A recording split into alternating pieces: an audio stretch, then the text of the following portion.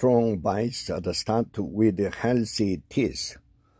Some steps you can take to help the enamel be less susceptible to cavities.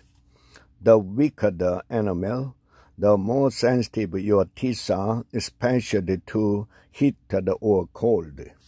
Having bright, beautiful teeth depend on more than just brushing twice a day. It also depends on the strength of your enamel, the out, outermost layer of your teeth, and the first line of defense against daily wear and tear. When you eat and drink, or even certain medical condition of or medication can strip away the minerals that make your enamel so strong and your genetics and early childhood experiences might also play a role in how tough your teeth are and how susceptible they are to cavities.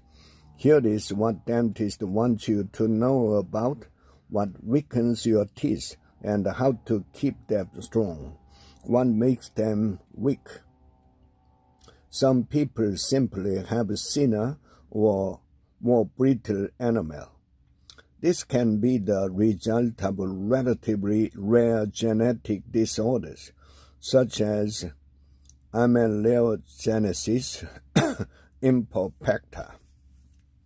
But more open enamel issues are associated with environmental factors that could disrupt its formation in utero or in early childhood, said Dr. Isabel, director of the pediatric dental residency program at the Harvard School of Dental Medicine in Massachusetts.